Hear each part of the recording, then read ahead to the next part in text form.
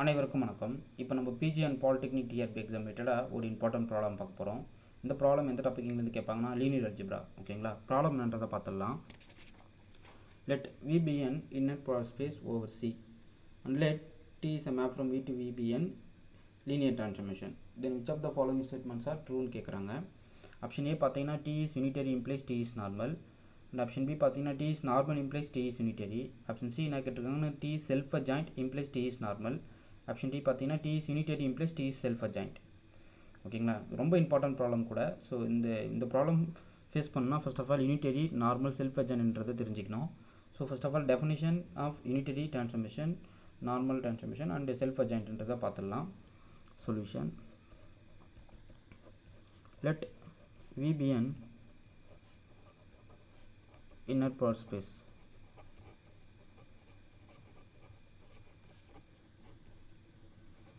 okay over the field f ஓகேங்களா and let t is a map from v to v be a linear transformation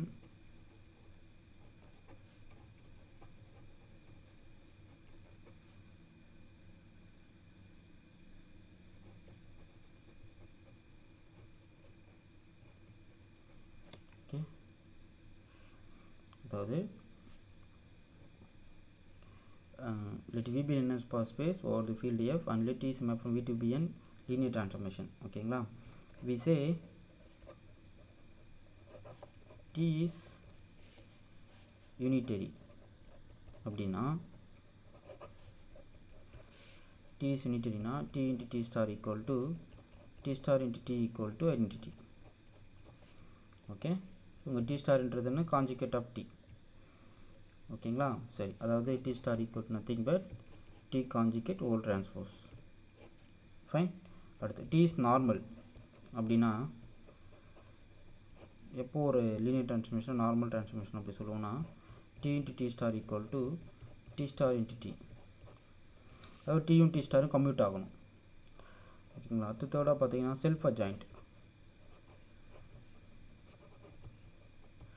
self adjoint பார்த்தீங்கன்னா T equal to T star okay so தாங்க ஒரு inner broad ஸ்பேஸில் define பண்ணுற ஒரு linear ட்ரான்ஸ்ஃபர்மேஷனை எப்போ யூனிட்டரின்னு சொல்லுவோம்னா T into T star equal to T star into T equal to யூனிட்டின்னு சொல்லுவோம். நார்மல் வந்து T into T star equal to T star into T self அஜாயினா T equal to T star ஓகேங்களா? So நம்ம என்ன பண்ணணும்? First பாருங்கள் கொஸ்டினில் unitary implies நார்மலான்னு கேட்குறாங்க கரெக்டுங்களா இப்போ யூனிட்டரினா என்னது? நம்மளுக்கு T into T star equal to T star T equal to unity அப்போ ரெண்டுமே வந்து கம்யூட் ஆகுதுன்னு அர்த்தம்.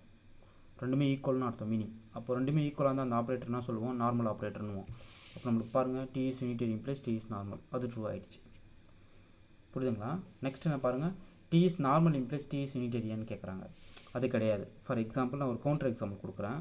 Take T equal to five plus i minus two i two four plus two i இப்போ இதை பார்த்தீங்கன்னா எனக்கு வந்து இது இது ஆக்சுவலாக இது நார்மல் ஆப்ரேட்டராக இருக்கும். நீங்கள் இது ப்ராடக்ட் பண்ணி பாருங்கள் டி இன்ட்டு டி ஸ்டாரும் டி ஸ்டார் இன்ட்டு டியும் சேமாக இருக்கும்.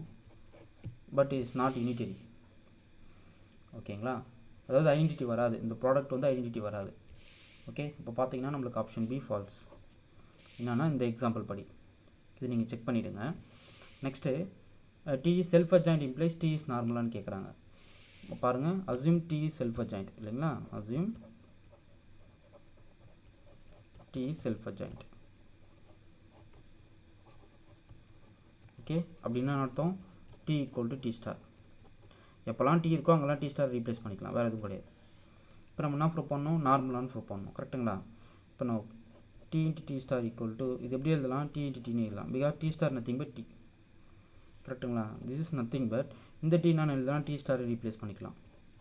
இப்போ ஃபைனலாக T into T star equal to நமக்கு T ஸ்டார் இன்ட்டு கிடச்சிச்சு ஸோ அப்போ பாருங்கள் எவ்ரி செல்ஃப் அர்ஜென்ட் ஆப்ரேட்டர் நம்மளுக்கு என்ன ஆகிடுச்சு இப்போது நார்மல் ஆகிடுச்சு அப்போது ஆப்ஷன் சி ட்ரூ ஓகே அடுத்து T unitary implies T self அர்ஜென்ட்டான்னு கேட்குறாங்க நான் உங்களுக்கு ஒரு டிரான்ஸ்ஃபர்மேஷன் கொடுக்குறேன். அது என்னென்னா T equal to one by two times one plus i one minus i one minus i one plus i இப்போ நீங்கள் இந்த டிரான்ஸ்ஃபர்மேஷன் எடுத்துக்கிட்டிங்கன்னா இது எனக்கு யூனிட்டேரியாக இருக்கும் பட் நாட் செல்ஃப் அஜாயிண்ட் இது நீங்கள் செக் பண்ணிவிடுங்க it is unitary but not self adjoint okay ஃபால்ஸ்ன்றதுக்கு நம்ம ஒரு கவுண்டர் எக்ஸாம்பிள் கொடுக்கணும். அவ்வளோதான் ஸோ அதை நான் அதை கொடுத்துட்டேன். இது யூனிட்டரியாக இருக்குது பட் செல்ஃப் ஜாயிண்ட்டாக இல்லை. நீங்கள் அதை வெரிஃபை பண்ணுங்கள் ஏன் யூனிட்டரின்றது நீங்கள் தெரியணும். யூனிட்டரினா என்ன வரணும்? T into T star equal to T star into T equal to ஐடென்டிட்டின்னு வரணும்.